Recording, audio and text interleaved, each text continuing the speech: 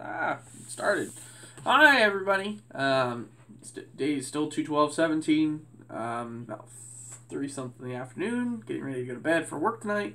But I want to talk about another book that I read recently, and that was Gary Paulsen's The River. Um, I know that's not like this groundbreaking book or anything like that. And as a matter of fact, I read the majority of the Hatchet series as a kid, but that was at that store Restore the other day.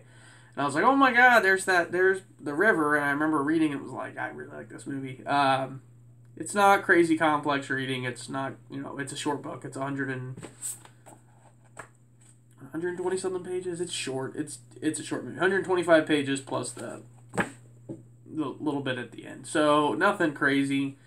Um, I, I, I don't know. I, I really enjoy the series. I really have. I need to go back and read them all again because I mean I remember reading them in middle school to, to high school, and they're not difficult reading. They're really not. They're you know it's probably beneath what I should be reading, but they're just an interesting read, and I really like the story. I love the detail. Um, so basically, it's the sequel to. It's one of the sequels, one of the many sequels to the original book, The Hatchet, or Hatchet, or it's one of the two. I can't remember if there's a the before it. Um, so if you've read that one, it, this will make sense. But Hatchet basically is a story of a 13 year old boy who is taking a private plane to Canada, like a, a single engine, like a Cessna, not like an actual jet. Uh, up to Canada to see his dad because his parents are separated, and I think they eventually get divorced later on.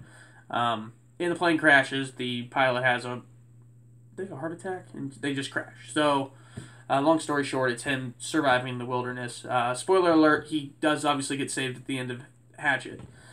But there are cool bits because there are multiple sequels with different stories. So there's the hatchet, then there's the river. Is after he gets saved, he's approached to go back and do it again, uh, with someone who's going to be documenting and seeing how he survives, what he you know what he's looking for.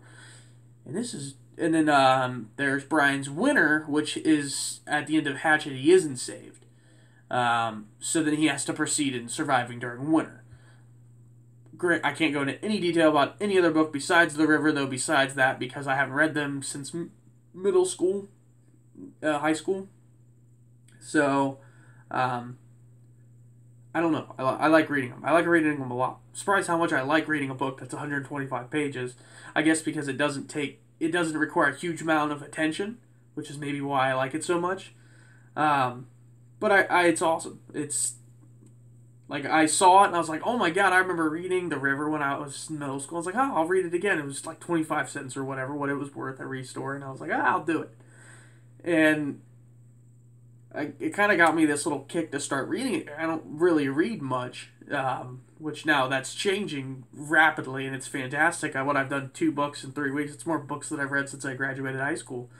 Um, which is very bad. Don't remind me how bad that is. I, I'm fully aware of how sad that is.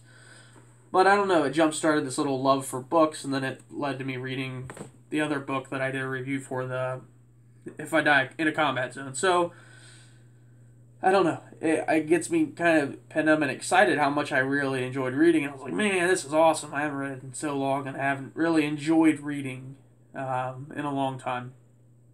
So, um, why I like the book, it's short, it's to the point man, I'm going into like descriptive detail of stupid stuff. I don't need to. Um, it's short to the point. There's a lot of detail, and it is a rewarding book when you finish it. You get to the end, and it's like, oh, cool. That was. It feels like a chapter of a much larger story, and it is.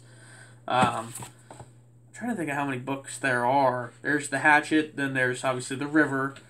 Uh, Brian's Winter, Brian's Return, and Brian's Hunt. They're all individual little stories of this young, you know, kid's life. And it's cool because they talk, you know, I'm trying to think which one it was. It wasn't, it obviously wasn't the river. Um, trying to think what, it was Brian's return talks about his, uh, Brian, or Brian, yeah, the river talks a little bit about his adjustment period getting back, and then Brian's return is the inability to adjust to normal life, which I really liked. Uh, because what he's 13 when he gets stuck out there, and he's only stuck out there for a couple months. I couldn't tell you how many. It's been that long, but it's impossible for him to readjust. And the River talked about it initially, and that was kind of the opening of the book. Was it's a year year and a half or something later, and he's still learning to adjust, which was kind of cool. Uh, but then they went straight into him being out the wall. But it's what 125 pages. It's a short read. You can read in a couple hours if you wanted to. If you're a fast reader, if you're slow, I don't. You know, who cares about your pace? Um, took me a day or two to read, and I just was stoked how much I liked it. So, um, if you find it, if you like survival stuff, um, if you if you read Gary Paulsen, you haven't read The River. If you read the hat, if you read Hatchet or the Hatchet or whatever it is, um, yeah, definitely pick it up. It's fun book. I like it. I liked it a lot. Um, thanks, guys.